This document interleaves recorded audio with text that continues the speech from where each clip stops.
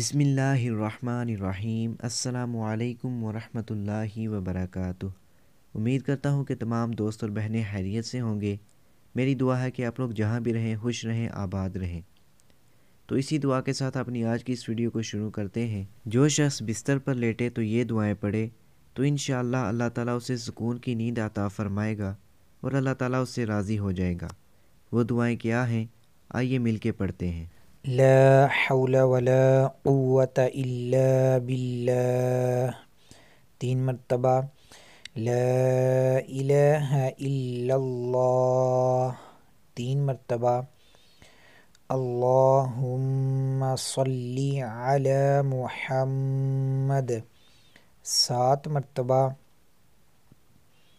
أستغفر اللہ سات مرتبہ اللهم بسمك اموت واحيا تین مرتبہ لا الہ الا انت سبحانك انی كنت من الظالمین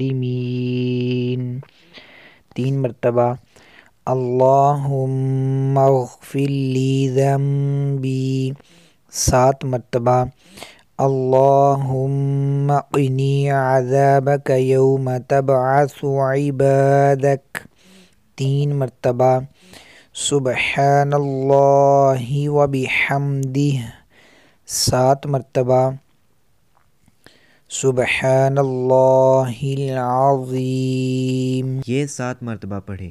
ناظرین، یہ تھی وہ دعائیں کہ جو شخص رات کو بستر پر لیٹے تو یہ دعائیں پڑھے تو انشاءاللہ اللہ تعالیٰ اسے سکون کی نیند عطا فرمائے گا اور اللہ تعالیٰ اس سے راضی ہو جائے گا۔ ناظرین، ہم سب کو کوشش کرنی چاہیے کہ ہم یہ تمام دعائیں رات کو سونے سے پہلے پڑھ کے سوئیں۔ اگر ہم یہ تمام دعائیں نہیں پڑھ سکتے تو ان میں سے چند ایک پڑھنے کا معمول لازمی بنائیں۔